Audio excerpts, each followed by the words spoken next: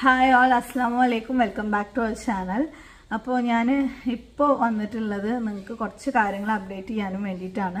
ഒരു community post ഇടാമെന്ന് വിചാരിച്ചാൽ പോലും ഇവിടെ കറണ്ടില്ല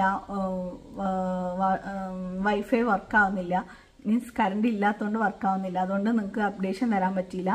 ഇന്നലെ ഞാനൊരു പോസ്റ്റ് ഇട്ടപ്പോൾ അതിന്റെ താഴെ ഒരുപാട് പേര് സ്വന്തം ഫാമിലിനെ പോലെ അതായത് സ്വന്തം ഫാമിലി ആയിക്കൊണ്ട് തന്നെ എനിക്ക് വേണ്ടി പ്രാർത്ഥിക്കുകയും ഒക്കെ ചെയ്യുന്നുണ്ടായിരുന്നു. നിങ്ങളെല്ലാവരും എനിക്ക് ഈ പെട്ടെന്ന് സുഖപ്രസവം ആവണേ നല്ല കുഞ്ഞിനെ കിട്ടണേ എന്ന് പറഞ്ഞ് പ്രാർത്ഥിക്കുന്ന സമയത്ത് ഞാൻ എനിക്ക് പെട്ടെന്ന് പ്രസവം ആവരുതേ എന്നും പറഞ്ഞ് പ്രാർത്ഥിച്ചിരിക്കുന്ന ഒരു സമയമായിരുന്നു. ലോകത്ത് ഏത് ഗർഭിണികളും ഇതുപോലെ പ്രാർത്ഥിച്ചിട്ടുണ്ടാവില്ല. ബിക്കോസ് അതിനൊരു കാരണമുണ്ട്. അപ്പോൾ നിങ്ങളോട് പറയണോ വേണ്ടെന്ന് ഒരുപാട് ആലോചിച്ചൊരു കാര്യമായിരുന്നു. കുറേ ദിവസമായിട്ട് മറച്ചു വെച്ചൊരു സംഭവമായിരുന്നു. ഇതുവരെ ഞാൻ അത് ഞങ്ങളുടെ ഫാമിലി അല്ലാതെ വേറെ ആരുമായിട്ടും അത് ഷെയർ ചെയ്തിട്ടുണ്ടായിരുന്നില്ല കേട്ടോ.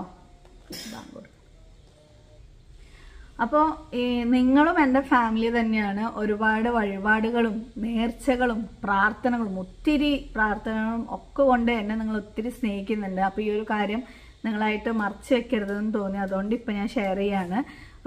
ഒരു ഒരു വർഷത്തോളമായി ശരിക്കും നമ്മൾ കണ്ടുപിടിച്ചിട്ട് നമ്മുടെ അതായത് എന്നെ അഡ്മിറ്റ് ആക്കേണ്ട ദിവസം അല്ലെങ്കിൽ എന്നെ എനിക്ക് ഡെലിവറി നടക്കേണ്ട ദിവസം ഇപ്പോൾ നമ്മുടെ ഹെയ്സൻ കുട്ടനെ അഡ്മിറ്റ് ആക്കി സർജറി നടത്തേണ്ട ഒരു അവസ്ഥയിലാണ് നമ്മളിപ്പോൾ ഉള്ളത്.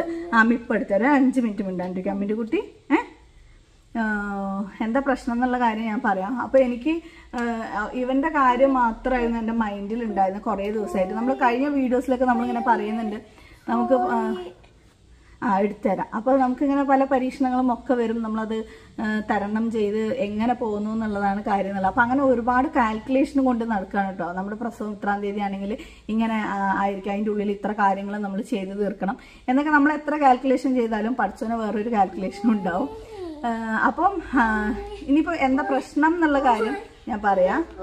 ശരി നിൽക്കുക എന്ത് സൗണ്ട് അപ്പോൾ എനിക്ക് ശരിക്കും അഡ്മിറ്റ് ആവേണ്ട ദിവസം എന്ന് പറയുമ്പോൾ നാല് അതായത് ഇരുപത്തി മൂന്നാം തീയതി അഡ്മിറ്റ് ചെയ്തിട്ട് ഇരുപത്തിനാലാം തീയതി ഇൻഡ്യൂസ് ലേബറാണ് ചെയ്യുക. അതുവരെ നമുക്ക് ഇപ്പോൾ വാട്ടർ വെള്ളം പോവുക അങ്ങനത്തെ കാര്യമൊന്നും ഇല്ലാന്നുണ്ടെങ്കിൽ വെയിറ്റ് ചെയ്യാം. ശരിക്കും എന്റെ ഡേറ്റ് ഡ്യൂ ഡേറ്റ് എന്ന് പറയുമ്പോൾ ഒക്ടോബർ പത്താണ്. എന്റെ ഈ ഒരു സിറ്റുവേഷനൊക്കെ പരിഗണിച്ചിട്ടാണ് കുറച്ചും കൂടെ ഡേറ്റ് ഇത്രയും മുന്നിലേക്ക് പറഞ്ഞിട്ടുണ്ടായിരുന്നത് കേട്ടോ. അപ്പോൾ എനിക്ക് അത് മനസ്സിലുണ്ട്. എനിക്ക് ഇനിയും ദിവസങ്ങളുണ്ട്. എന്തെങ്കിലും ഒരു ഇതുണ്ടെങ്കിൽ നമുക്ക് കുറച്ച് ലേറ്റ് ആയിട്ട് പോയാലും കുഴപ്പമില്ല എന്നുള്ള പോലത്തെ ആ ഒരു ചിന്തയും ധാരണകളൊക്കെ ഉണ്ടായിരുന്നു. കുറേ കാര്യങ്ങൾ എനിക്ക് ചെയ്ത് തീർക്കാനുണ്ടായിരുന്നു. ഇപ്പോൾ ഷോപ്പ് മാറുന്ന കാര്യമാണെങ്കിലും അങ്ങനെ ഒത്തിരി കാര്യങ്ങൾ ഞാനും കൂടെ ഇൻവോൾവ്ഡ് ആണല്ലോ. അപ്പോൾ അതിന്റെതായിട്ടുള്ള ഒരു റിസ്ക് ബുദ്ധിമുട്ടുകളൊക്കെ ഉണ്ടായിരുന്നു കേട്ടോ. അപ്പോൾ പ്രസവ വേദന വന്നാൽ പിന്നെ നമുക്കൊന്നും ചെയ്യാൻ പറ്റില്ല. നമ്മൾ നേരെ പോകാന്നുള്ളതാണ് അപ്പോൾ നാളേക്ക് അഡ്മിറ്റ് ആവുന്നതിന് പകരം ഇന്നലെ പോകാനുള്ള കാരണം എന്താണെന്ന് വെച്ചാൽ എനിക്ക് ഇടയ്ക്ക് ഇങ്ങനെ പെയിന് അതായത് ലെഗ്മെന്റ് പെയിൻ അങ്ങനെയുള്ള കാര്യങ്ങളൊക്കെ വരുന്നുണ്ട്. സ്ലൈഡ് ആക്കി തരണം. ഓക്കെ ഇവിടെ വേറെ ആരുമില്ല. ഇപ്പോൾ കുട്ടികളെ ഏൽപ്പിക്കാം. അങ്ങനെ ആക്കി തന്നു ഏൽപ്പിക്കാൻ അതുകൊണ്ടാണ് കേട്ടോ കുട്ടികളെ വെച്ചിട്ട് വീഡിയോ ഷൂട്ട് ചെയ്യുന്നത് കരണ്ടും ഇല്ലാത്തതുകൊണ്ട് നിങ്ങൾ എങ്ങനെയെങ്കിലും കുറച്ച് കാര്യങ്ങൾ അറിയിക്കണം തോന്നുന്നു. ഒരുപാട് പേര് ഇതിനു വേണ്ടി കാത്തിരിക്കുന്നതല്ലേ? നിന്റെ സ്ലൈഡ് എടുത്തു തരാം അപ്പം അപ്പം സത്യം പറഞ്ഞു കഴിഞ്ഞാൽ ഈ ഒരു കാര്യം എങ്ങനെ അവതരിപ്പിക്കണം എന്നുള്ളത് എനിക്കറിയില്ല. ഒരുപാട് പേര് പല രീതിയിലൊക്കെ എങ്ങനെയെങ്കിലുമൊക്കെ പറയാം. എനിക്ക് മക്കളുടെ കാര്യത്തിൽ അങ്ങനെ ആരെന്തെങ്കിലും പറയുന്നത് എനിക്ക് സത്യം പറഞ്ഞാൽ ഇഷ്ടമല്ല കേട്ടോ പക്ഷേ ഒത്തിരി പേര് ആ ഒരു പ്രാർത്ഥന എന്റെ കുട്ടിക്കും വേണം എന്നുള്ളത് എനിക്ക് അത്രയും ഒരു നിർബന്ധം ഉള്ളതുകൊണ്ടാണ് നിങ്ങളായിട്ട് ഷെയർ ചെയ്യുന്നത്. എന്നെ സ്നേഹിക്കുന്നവർക്ക് മാത്രം വേണ്ടിയിട്ടാണ് ഈ ഒരു കാര്യം ഞാൻ ഷെയർ ചെയ്യുന്നത്. അതായത് ഹെയ്സന ജന്മന ഉള്ള ഒരു സംഭവം നമ്മൾ കണ്ടുപിടിക്കാൻ വൈകിട്ടുണ്ടായിരുന്നു എന്താന്ന് വെച്ചാൽ തൊണ്ടയിൽ ഈ ഭാഗത്ത് ഒരു മുഴ. അത് ജന്മ ജനിച്ച സമയത്തൊന്നും നമുക്ക് എന്തായാലും കണ്ടുപിടിക്കാൻ പറ്റില്ല. കാരണം കുട്ടികൾ എപ്പോഴും കഴുത്ത് ഇങ്ങനെ ആയിരിക്കുമല്ലോ വെച്ച് ഇവൻ ഇങ്ങനെ ആക്കിയാൽ മാത്രമേ ഈ ഒരു മുഴ നമുക്ക് ശ്രദ്ധയിൽപ്പെടുള്ളൂ അപ്പൊ അപ്പോൾ ഒരു ഒരു കൊല്ലം മുമ്പ് ശ്രദ്ധയിൽ പെട്ടിട്ടുണ്ടായിരുന്നു. അപ്പൊ നമ്മൾ എന്റെ ഒരു പൊട്ടത്തരം കൊണ്ട് എന്താ വിചാരിച്ചെന്ന് വെച്ചാൽ ആൺകുട്ടികൾ തൊണ്ടയിൽ ആഡംസ് ആപ്പിൾ ഉണ്ടാവും. അതിന്റെ ആയിരിക്കും. എന്ന് വിചാരിച്ചിട്ട് ഞാൻ ഇങ്ങനെ അമ്മ മുമ്പ് ചോദിക്കുമ്പോൾ ഞാൻ പറഞ്ഞു അത് ആൺകുട്ടികൾക്ക് ഉണ്ടാകുന്ന ആ ഒരു ഇതാണ് തോന്നുന്നു. അത്ര വലുതൊന്നും അല്ല അതുകൊണ്ട് എനിക്ക് അങ്ങനെ തോന്നാനുള്ള കാരണം കേട്ടോ അവസാനം ഒരു മൂന്നാൽ മാസം മുമ്പ് ഇക്കാടെ പെങ്ങളുടെ വീട്ടിൽ പോയ സമയത്ത് എനിക്കിങ്ങനെ മനസ്സിലൊരു ഇതുണ്ട് അപ്പം ഞാൻ ഇവന്റെ കഴുത്ത് ഇങ്ങനെ പൊക്ക് എന്ന് പറഞ്ഞിട്ട് അയച്ചു ഇങ്ങോട്ട് വാടാ. കഴിച്ചു കാണിച്ചു. കഴുത്ത് പൊക്ക് എന്ന് പറഞ്ഞിട്ട് അവരോട് ഞാൻ നോക്കാൻ പറഞ്ഞു. അയച്ചു കഴുത്ത് പൊക്ക്. കണ്ടില്ലേ? ഈ സംഭവം. സൈഡ് സൈഡ് നിൽക്ക് സൈഡ് നിൽക്ക് ഇതാണ് സംഭവം. ശരി അപ്പോൾ കാണിച്ചു കൊടുത്തിട്ട് ഇങ്ങനെ അവരോട് ചോദിച്ചു എന്തെങ്കിലും ഒരു അപാകത നിങ്ങൾക്ക് തോന്നുന്നുണ്ടോ എന്ന് പറഞ്ഞിട്ട്. ആ സമയത്ത് അത് അത്ര ഇത്ര വലുതല്ല കേട്ടോ അപ്പോൾ അവർ കണ്ടതും പറഞ്ഞു ഒന്ന് ഡോക്ടറിനെ ഒന്ന് കാണിച്ച് നോക്ക്. എന്തായാലും ഡോക്ടർ പറയുന്നത് കേൾക്കാമല്ലോ അത് കേട്ട ഉടനെ തന്നെ എന്റെ മനസ്സിൽ എന്തോ ഭയങ്കര ഒരു പേടിയും ബേജാറും മുക്ക് തുടങ്ങി. അതിന് ശേഷം ഞാൻ വീട്ടിൽ പോയിട്ട് ഇതേപോലെ ഒന്നും പറഞ്ഞില്ല. മോന്റെ കഴുത്ത് ഇങ്ങനെ പൊക്കിയിട്ട് നോക്കിയിട്ട് നിങ്ങൾക്ക് എന്തെങ്കിലും തോന്നുന്നുണ്ടോ എന്ന് ചോദിച്ചതും പാപ്പയും എല്ലാവരും പറഞ്ഞു ഇത് എത്രയും പെട്ടെന്ന് ഡോക്ടറിനെ കാണിക്കണം. എന്ന് പറഞ്ഞ്. പിന്നെ കാണുന്നവരൊക്കെ ഞാനിത് ചോദിക്കാൻ തുടങ്ങി. പക്ഷെ എനിക്ക് അപ്പോഴും ഹോസ്പിറ്റലിൽ കൊണ്ടുപോകാനുള്ള അവസരം ഉണ്ടായിരുന്നില്ല. പറ്റിയിട്ടുണ്ടായിരുന്നില്ല. ഞാൻ ഒന്നിനും ഒറ്റയ്ക്ക് പുറത്തു പോകാത്ത ഒരാളാണ്. അങ്ങനെ ഇക്കാനോട് പറഞ്ഞാൽ എത്രയും പെട്ടെന്ന് നമുക്ക് ഡോക്ടറെ അടുത്ത് കാണിക്കണം കാണിക്കണം പറഞ്ഞു ഇക്കാന്റെ തിരക്കുകളിൽ അങ്ങനെ വിട്ടുപോയി. അതിന് ശേഷം ചുച്ചുക്കുട്ടിക്ക് സുഖമില്ലാണ്ടായി രണ്ട് മൂന്ന് ദിവസം മുമ്പ്. അപ്പോൾ എനിക്കറിയാം ഇത് എന്തായാലും സർജറിയിലേ അവസാനിക്കുള്ളൂ എന്നുള്ളത്. എന്റെ മനസ്സ് പറഞ്ഞുകൊണ്ടിരിക്കുന്നുണ്ട് അപ്പോൾ എന്റെ പ്രസവവും ഇതും എല്ലാം കൂടെ ആയി എനിക്ക് ആകെ ബേജാറാവോ? ഡോക്ടർ എന്തെങ്കിലും പറഞ്ഞാൽ അങ്ങനെയെന്നൊക്കെ വിചാരിച്ചിട്ട് ഞാനിങ്ങനെ ഇരിക്കുന്നുണ്ട്. അപ്പോൾ ചുച്ചുക്കുട്ടിക്ക് സുഖമില്ലാണ്ടായപ്പോൾ എന്റെ അമ്മയും എന്റെ വലിയ നാത്തൂനും അതായത് ഇക്കടെ പെങ്ങളും കൂടിയിട്ട് അല്ല മൂന്നാമത്തെ നാത്തൂനും കൂടിയിട്ട് അവർ ഡോക്ടറെ അടുത്ത് കൊണ്ടു പോകാമെന്ന് പറഞ്ഞിട്ട് അങ്ങനെ രണ്ട് ദിവസം മുമ്പ് നിൽക്കുമ്പോൾ ഞാൻ പറഞ്ഞു ഏതായാലും ശരി എനിക്കൊരു മനസ്സിനൊരു ഇത് കിട്ടുന്നില്ല. ഇക്കാനെ വെയിറ്റ് ചെയ്തിരുന്ന ഇനി നടക്കൂല. നിങ്ങൾ ഹൈസനും കൂടെ ഒന്ന് കാണിക്കുന്ന പറഞ്ഞിട്ട് കുട്ടനും കൂടെ വിടുമായിരുന്നു ആ പറഞ്ഞ അപ്പോഴാണ് പീഡിയാട്രിഷ്യൻ പറഞ്ഞത്. ഇത് എന്നാ, ഇത് വന്നിട്ട് മരുന്നിൽ മാറ്റാൻ പറ്റുന്ന ഒരു സംഭവമല്ല. ഇത് സർജറി തന്നെ ചെയ്യണം. ഇവിടെ പാലക്കാട് അതിനുള്ള ഡോക്ടേഴ്സോ സെറ്റപ്പോ കാര്യങ്ങളോ ഒന്നുമില്ല. നിങ്ങൾ കോയമ്പത്തൂർ കൊണ്ടുപോയി കാണിക്കണം എന്ന് അപ്പോഴാണ് പറയുന്നത്. അപ്പം അതിന് ശേഷം ഇവർ വന്നതിന് ശേഷം കാര്യങ്ങളൊക്കെ പറഞ്ഞപ്പോൾ ഞാനും മിക്കയും കൂടെ വൈകുന്നേരം മറ്റൊരു ഇ എൻ ടിയും കൊണ്ടുപോയി കാണിച്ച്. അപ്പോൾ ഇ എൻ ടിയും പറഞ്ഞു പേടിക്കണ്ട ബേജാറൊന്നും ആവണ്ട ഒരു സർജറി ചെറിയൊരു സർജറി ചെയ്ത് അത് കളയേണ്ടി വരും. അപ്പം അതിന് മുമ്പ് നോക്കേണ്ടത് ജന്മന ഉള്ളതാണ് പെട്ടെന്ന് വന്നതൊന്നുമല്ല നമ്മൾ ശ്രദ്ധിക്കാൻ കുറച്ച് വൈകിയെന്ന് മാത്രം എന്ന് പറഞ്ഞിട്ടുണ്ടായിരുന്നു. അപ്പോൾ എന്റെ മനസ്സിൽ പെട്ടെന്ന് എനിക്ക് തോന്നി ഇനി ഇത് വൈകിപ്പിക്കാൻ പാടില്ല. കാരണം ഞാൻ പ്രസവിച്ച് കഴിയുന്ന എല്ലാവരും പറഞ്ഞു ഈ പ്രസവിക്ക് അതിന് ശേഷം നമുക്ക് പോവാം ഹോസ്പിറ്റലിലേക്ക് പോവാം. അല്ലാതെ ഇപ്പം തന്നെ എല്ലാം കൂടെ കൂട്ടി കുഴക്കണ്ട നിനക്കും ബുദ്ധിമുട്ടാവും എന്ന രീതിയിൽ. അപ്പം ഞാൻ ഞാൻ പറയാം എന്റെ ബുദ്ധിമുട്ട് ആരും നോക്കണ്ട. എനിക്ക് ഒക്ടോബർ പത്ത് വരെ ഡേറ്റ് ഉള്ളതാണ്. വേറെ കുഴപ്പമൊന്നും ഇല്ലാന്ന് ഡോക്ടർ പറയുകയാണെന്നുണ്ടെങ്കിൽ ഞാൻ അത്രയും ദിവസം ഞാൻ വെയിറ്റ് ചെയ്യാൻ ഞാൻ തയ്യാറാണ്.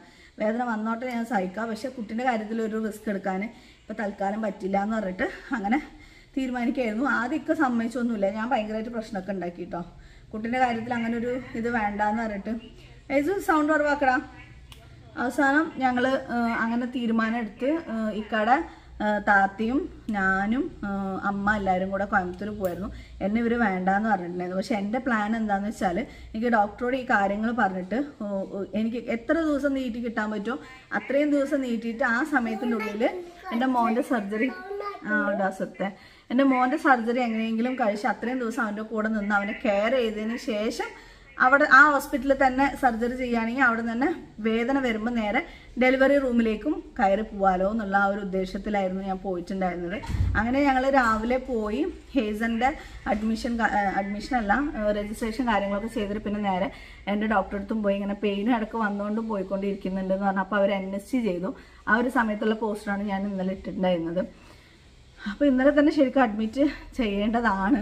അപ്പോൾ ഞാൻ അവസാനം ഡോക്ടറെ അടുത്ത് പി വി ചെയ്തിട്ടുണ്ടായിരുന്നു. അപ്പോൾ ഡോക്ടറെ അടുത്ത് അതിന് മുമ്പ് ഞാൻ പറഞ്ഞു എന്റെ മോന്റെ ഒരു സർജറി ഉണ്ട്. ഇവിടെ തന്നെയാണ് ചെയ്യുന്നത്. അപ്പോൾ ഏതാ ഡോക്ടർ എന്താണെന്നൊക്കെ ചോദിച്ചു. അപ്പോൾ ഡോക്ടറിന് ശരി എന്നാൽ ഇരുപത്തൊമ്പതാം തീയതി വരേക്ക് അഡ്മിഷൻ നീട്ടാം. ഇതിന്റെ ഇടയിൽ എന്തെങ്കിലും സംഭവിക്കുകയാണെങ്കിൽ ഞങ്ങൾ എല്ലാവരും ഇവിടെ തന്നെ ഉണ്ടല്ലോ. നീയും ഉണ്ടല്ലോ. നേരെ ലേബർ റൂമിൽ കയറിയാൽ മതി. അപ്പോൾ മോന്റെ സർജറി നടക്കട്ടെ. ഡോക്ടറായിട്ട് സംസാരിക്കുക ഈ ഗ്യാപ്പിൽ പെട്ടെന്ന് എത്രയും പെട്ടെന്ന് ചെയ്യാം. എന്ന് പറഞ്ഞു. എനിക്ക് ഏറ്റവും ഒരു മനസമാധാനം കിട്ടിയ ഒരു സമയം. ഞാൻ പ്രതീക്ഷ പോലെ തന്നെ ഡോക്ടർ എനിക്ക് അതിനനുസരിച്ച് സപ്പോർട്ട് ചെയ്ത് പറഞ്ഞു. ഞങ്ങൾ ഇവിടെ തന്നെ ഉണ്ട്. ടെൻഷൻ ആവണ്ട. നിനക്ക് എന്തെങ്കിലും ആ സമയത്ത് പെയിന് കാര്യങ്ങൾ ആയി വരിക വെള്ളം പോകുക എന്ത് ചെയ്യുകയാണെങ്കിലും നേരെ ലേബർ റൂമിലേക്ക് കയറി വരാം. മോൻ അവിടെ ആൾക്കാർ നോക്കാനുണ്ടാവുമല്ലോ എന്ന് പറഞ്ഞു. അപ്പോൾ ഇതൊക്കെ നിങ്ങളായിട്ട് ഷെയർ ചെയ്യണം. ഇവിടുത്തെ വിവരങ്ങളൊന്ന് അറിയിക്കണം എന്നുണ്ടായിരുന്നു. അപ്പോൾ ഹേസന് ഇത് എന്താ സംഭവം എന്ന് വെച്ചാൽ ജന്മന ഈ തൈറോയിഡ് ഗ്ലാൻഡുമായി ബന്ധപ്പെട്ട് തൈറോയിഡ് അല്ല തൈറോയിഡ് താഴെയാണെന്നാണ് പറഞ്ഞത്. ചെറിയൊരു നൂൽ പോലെ ഒരു സംഭവം ഉണ്ടാവും. അത് വന്നിട്ട് ജനിക്കുന്ന സമയത്ത് ഡിസപ്പിയർ ആയി പോകണം ചെറിയ ഭാഗം എന്തെങ്കിലും അവിടെ നിൽക്കണേ അത് അതിങ്ങനെ വളർന്നു വരികയാണ് ഒരു നീർക്കെട്ടി പോലെ എന്നാണ് പറഞ്ഞത്. നേരത്തെ നോക്കിയിട്ടുണ്ടെങ്കിൽ വലിയൊരു ഇതില്ല. അപ്പൊ ഇനി എപ്പോൾ വേണമെങ്കിലും ഇൻഫെക്ഷൻ ആവാൻ ചാൻസ് ഉണ്ട് എന്ന് ഡോക്ടർ പറഞ്ഞപ്പോഴാണ് ഞാൻ ആകെ ടെൻഷൻ ആയത്. കാരണം ഈ ഇനി ഞാൻ പ്രസവിച്ച് നിൽക്കുന്നവരെ ഇവന്റെ ഇൻഫെക്ഷൻ ആവാതെ നമുക്ക് നോക്കാൻ പറ്റില്ല. അത് തനിയെ ആവുന്നതാണ് അപ്പോൾ ഡോക്ടർ ചോദിച്ചു ഞാൻ പറഞ്ഞു അപ്പം അതിനെന്താ ചെയ്യണം അപ്പം ഇത്ര ദിവസം ഇൻഫെക്ഷൻ ആയില്ലല്ലോ. അപ്പം അതുപോലെ ദൈവത്തിന്റെ അടുത്ത് പ്രാർത്ഥിക്കാം. വാൻഡ് സത്യ സൗണ്ട് കേൾക്കണം. പ്രാർത്ഥിക്കാം എന്ന് പറഞ്ഞു. അപ്പം ആ ഒരു റിസ്ക് എടുത്ത് അങ്ങനെ നമുക്ക് വെയിറ്റ് ചെയ്ത് നിൽക്കുക പറഞ്ഞത് നടക്കുന്ന കാര്യമല്ല. നമുക്ക് ടെൻഷൻ കൂടും. അപ്പം അതിനേക്കാളും നല്ലത് ഇവന്റെ ആ ഒരു സംഭവം കഴിഞ്ഞ് കിട്ടിയാൽ സമാധാനത്തിൽ പ്രസവിക്കാമല്ലോ എന്ന് പറഞ്ഞിട്ട്. പിന്നെ നിങ്ങളുടെ എല്ലാവരെയും ദുവാ വേണം. നല്ല രീതിയിൽ സർജറി ഒക്കെ കഴിഞ്ഞ് വരാനും സമാധാനത്തോടു കൂടെ എന്റെ ഡെലിവറി കഴിയാനൊക്കെ. ഞാൻ പറയേണ്ട ആവശ്യമില്ല. ആവശ്യമില്ല എന്നറിയാം. നിങ്ങൾ എല്ലാവരും അത്ര എനിക്ക് കട്ട സപ്പോർട്ടായിട്ട് നിൽക്കുന്നുണ്ട്. ഒരുപാട് താങ്ക്സ് ഉണ്ട്. എത്ര നന്ദി പറഞ്ഞാലും മതിയാവില്ല. അപ്പോൾ ഞങ്ങൾ നാളെ എന്നെ അഡ്മിറ്റ് ആക്കേണ്ട ദിവസം എന്റെ ഏജം കുട്ടിനെയും കൊണ്ട് നമ്മൾ പോവാണ്. പോയിട്ട് അവിടെ ഡെലിവറി അയ്യോ ഡെലിവറി തന്നെ ഉള്ളൂ. സർജറി ഒക്കെ കഴിയും. അതിന്റെ ഇടയ്ക്ക് എനിക്ക് എന്തെങ്കിലും പെയിൻ വരിക പിടിക്കുക എന്തെങ്കിലുമൊക്കെ ചെയ്താൽ എന്റെ ഡെലിവറിയും അവിടെ തന്നെ ഉണ്ടാവും. അപ്പോൾ ഇത്രയൊക്കെ പറയാനും വേണ്ടിയിട്ടാണ് കേട്ടോ ആ പോ പോ പോ പോണ്ട. രണ്ട് പേരും ബാ. ഇപ്പൊ എന്താ പ്രശ്നം വെച്ചാൽ ഹേസം കൂട്ടർ ഭയങ്കര വാശി കരച്ചിൽ എന്റെ വയറിൽ പിച്ച് അടിക്ക മാന്ത ഇങ്ങനൊക്കെ ചെയ്യണം. ഇങ്ങനൊന്നും ചെയ്യാത്ത ഒരു പാവം കുട്ടിയായിരുന്നു എന്റെ മോന്. പക്ഷെ പാവം മാറി മാറി. അപ്പം ആ ശരി പോട്ടെ. അപ്പൊ എല്ലാം കഴിഞ്ഞിട്ട് ഞങ്ങൾ ഭയങ്കര ഹാപ്പി ആയിട്ട് തിരിച്ചു വരുന്നതായിരിക്കും അല്ലേ? പറയും. യെസ് പറയും. ഇൻഷാല്ല പറയും. ഇൻഷല്ല യെസ് ഇൻഷല്ല. ആ. എല്ലാവരും എനിക്ക് വേണ്ടി പ്രാർത്ഥിക്കണം പറ എല്ലാവരും എനിക്ക് വേണ്ടി പ്രാർത്ഥിക്കണം. അല്ലാ. അല്ല എനിക്ക് വേണ്ടി പ്രാർത്ഥിക്കീ പറ വേദന ഒന്നും ഇല്ലാതിരിക്കാൻ പ്രാർത്ഥിക്കീ പറ ഇൻഷാല്ല ഞാൻ തിരിച്ചു വരും പറ ഞാൻ തിരിച്ചു വരും. ഇൻഷാല്ല പറ അപ്പോ അപ്പോൾ ശരി ഞാൻ പുതിയ എന്തെങ്കിലുമൊക്കെ അപ്ഡേഷനായിട്ട് എപ്പോഴാണ് വരാമെന്നൊന്നും അറിയില്ല. നാളെയൊക്കെ ഹോസ്പിറ്റലിലായിരിക്കും. എന്നെ എനിക്ക് വേണ്ടി പ്രാർത്ഥിക്കുന്ന ഞങ്ങൾക്ക് വേണ്ടിയിട്ട് എന്താ പറയുക ശരിക്കും പറഞ്ഞാൽ ഒരുപാട് അമ്പലത്തിലൊക്കെ വഴിപാട് കഴിച്ച ആൾക്കാരും എനിക്ക് അതിന്റെ ഇൻസ്റ്റാഗ്രാമിൽ മെസ്സേജ് ചെയ്യുന്നുണ്ട്. അതുപോലെ എനിക്ക് വേണ്ടി പള്ളിയിൽ നേർച്ചയാക്കുകയും ഒക്കെ ചെയ്യുന്ന ഒത്തിരി പേരുണ്ട്. എല്ലാവരോടും എന്റെ മനസ്സിൽ നിന്ന് ശരിക്കും മനസ്സിന്റെ ഉള്ളിൽ നിന്ന് ഞാൻ നന്ദി പറയാൻ കേട്ടോ. ശരി അമ്മി നോക്കാം. അപ്പോൾ ഇതൊക്കെയാണ് സംഭവങ്ങൾ ഇനിയിപ്പോൾ കൂടുതലൊന്നും വലിച്ചു നീട്ടുന്നില്ല. ഇൻഷാല്ല ബൈ. അസ്സാം വലൈക്കും